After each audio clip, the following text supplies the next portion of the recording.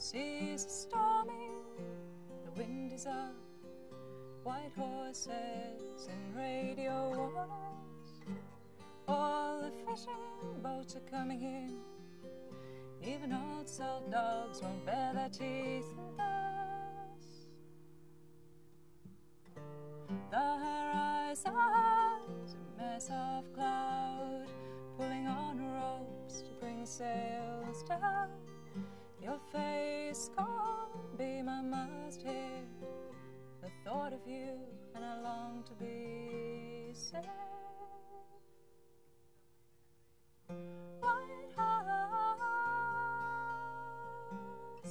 Vertigo, what a great word. Um, as you said that, I was thinking about anticipation. Vertigo is all about anticipation and being overwhelmed by anticipation of something that hasn't yet happened and is about to happen.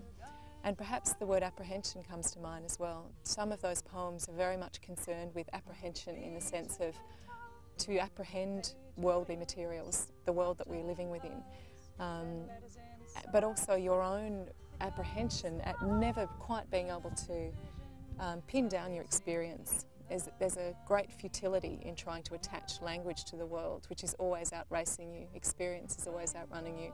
And there's a, there's a disjunction to me between the way we try and describe things and the experiences that we're having sonically or sensually or whatever. Um, so that apprehension that we'll never quite capture our experience or we'll never be able to contain it um, perhaps goes with the more perceptual concept of trying to come to terms with what you're seeing, things like that. I love reading aloud. I love just the sonic quality of reading aloud, I think can be quite mesmerising.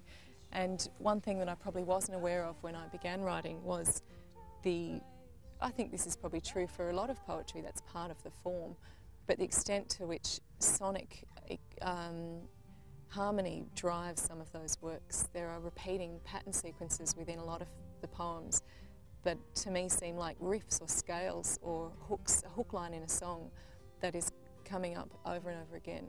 Um, and I probably am not conscious of making those sonic choices, but I'm, I'm aware now that they probably are driven by my interest in, um, in sound and space and how, I, I think in, in terms of the, the poetry and music, I think they are probably more closely related than sometimes I've wanted them to be.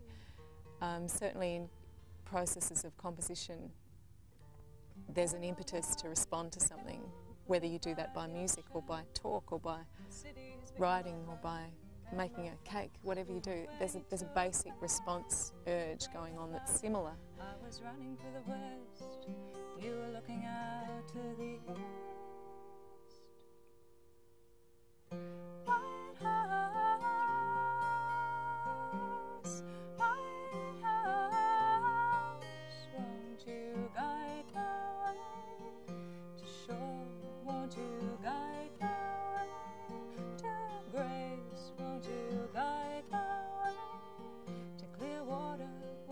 Redwood. Oh,